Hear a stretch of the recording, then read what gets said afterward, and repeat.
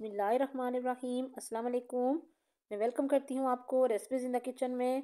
आज मैं आप लोगों के लिए बहुत ही मज़ेदार वाइट चिकन पुलाव की रेसिपी लेके आई हूँ। पुलाव तो आपने बहुत तरह के खाए होंगे, लेकिन यकीन करें कि आज मैं जो पुलाव की रेसिपी आपके साथ शेयर करूँगी, वो इतना मज़ेदार और खुशबूदार बन के रेडी होता है। कि आपके घर वाले उंगलियाँ चाटने पे मजबूर हो जाएँगे और जब कोई घर में एंटर होगा तो वो ज़रूर आपसे आके पूछेगा कि आज आपने क्या बनाया है कि सारे घर में इतनी मज़े की खुशबू फैली हुई है। तो जी हाँ आज हम बहुत ही मज़ेदार वाइट चिकन पुलाव बनाना स्टार्ट करेंगे। तो यहाँ पे वाइट चिकन पुलाव बनाने के लिए मैंने एक पतीला ले लिया है और इसमें हाफ़ कप के करीब मैंने ऑयल डाल लिया है। यहाँ दो मीडियम साइज़ के मैंने प्याज लेके और इनको स्लाइसिस में कट कर लिया था। प्याज डाल के और इसको हमने हल्का सा सौते कर लेना है। जब हल्का सा प्याज जो है वो हमारा सौते हो जाएगा तो कुछ साबुत गरम मसाले हैं जो मैं ऐड करूँगी जिसमें ज़ीरा है लौंग है और बादियान का फूल है एक ए, ए, इसके अलावा तेज़पात का पत्ता है छोटी इलायची और बड़ी इलायची है और काली मिर्चें हैं साबुत। ये सारे मसाले डालने के बाद अब यहाँ पे मैंने तीन पाव के करीब चिकन ले लिया है, जिसको मैंने अच्छी तरह से वॉश कर लिया था। चिकन में ऐड कर दूँगी और हमने यहाँ पे प्याज के साथ चिकन की बुनाई करनी है। तकरीबन दो से तीन मिनट तक हमने चिकन को फ्राई कर लेना है इस ऑयल में, ताकि चिकन का कलर भी चेंज हो जाए और थोड़ा सा ये टेंडर भी हो जाए।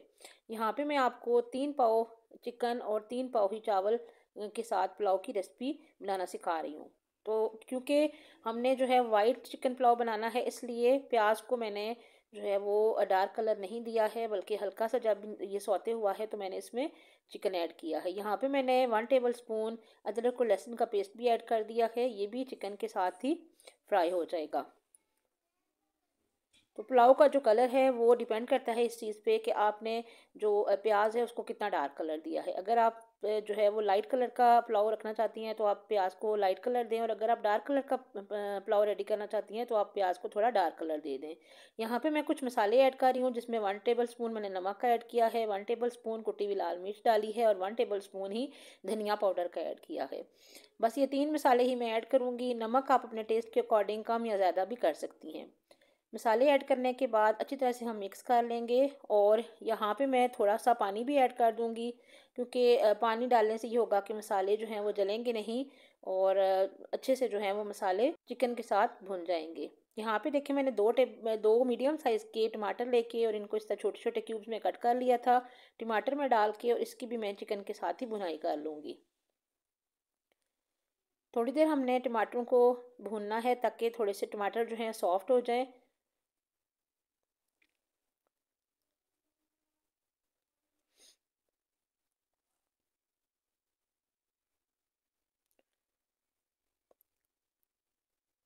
चम्मच हम चलाते जाएँगे दरमियान दरमियान में और चिकन को हम भूनते जाएँगे।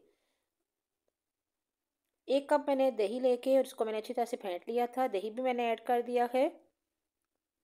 दही डाल के और हमने मिक्स कर लेना है और इसके बाद ढक्कन लगा के तकरीबन 10 से 15 मिनट के लिए दरमियानी आँच पे मैं इसको पकाऊँगी। ये देखें 10 से 15 मिनट के बाद जो टमाटर हैं वो भी सॉफ्ट हो गए हैं और दही का पानी भी काफ़ी हद तक ड्राई हो गया है। अब हमने यहाँ पे चिकन की भुनाई करनी है। हमने उस वक्त तक चिकन की भुनाई करनी है जब तक के जो अच्छा सा एक मसाला जो है वो ना रेडी हो जाए और तमाम का तमाम जो पानी है वो भी ड्राई हो जाए, जो हमने दही डाला था उसका। चम्मच चलाते जाएँगे और चिकन की हम बुनाई करते जाएँगे। ये देखें चिकन की यहाँ अच्छी तरह से बुनाई हो गई है ऑयल सेपरेट हो गया है। तो अब मैंने यहाँ पे पानी ऐड कर दिया है। चावल आपने नाप के जितने लिए हैं, उससे डबल क्वांटिटी में आपने पानी डालना है। ये देखें यहाँ पे मैंने तीन पाव के करीब ही अच्छी क्वालिटी के बासमती राइस ले लिए थे। इनको मैंने तकरीबन पंद्रह से बीस मिनट के लिए भिगो दिया था। जब चावलों का जो पानी है उसमें बॉयल आ जाएगा तो उसके बाद चावलों का जो पानी है वो निथार के और मैं चावल इसमें ऐड कर दूँगी। चावल डालने के बाद मिक्स कर लेंगे और उस वक्त तक हमने चावलों को पकाना है जब सारे का सारा पानी ड्राई ना हो जाए।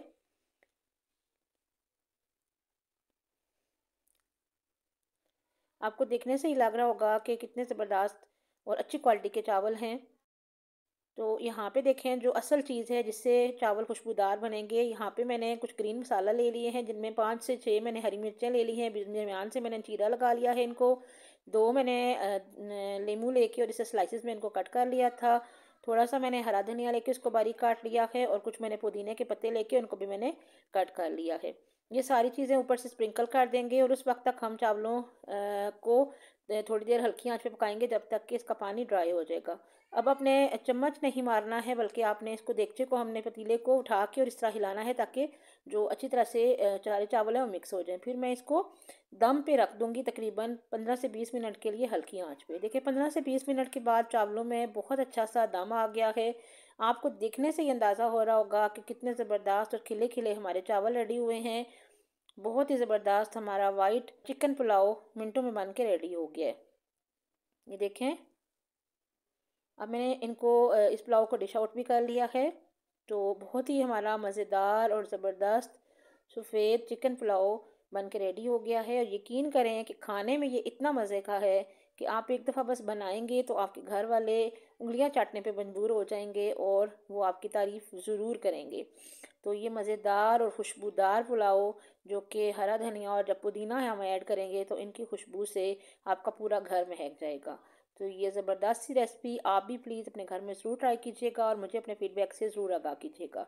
मेरी ये वीडियो अगर आपको अच्छी लगे तो मेरी वीडियो को ज़रूर लाइक कर दीजिए और चैनल पर अगर पहली दफ़ा आए हैं तो प्लीज़ मेरे चैनल को ज़रूर सब्सक्राइब कर लीजिए, अपने फीडबैक से ज़रूर आगा कीजिएगा और अपनी दुआओं में हमेशा याद रखिएगा। इसके साथ ही आप लोग मुझे इजाज़त दीजिए। अल्लाह हाफिज़।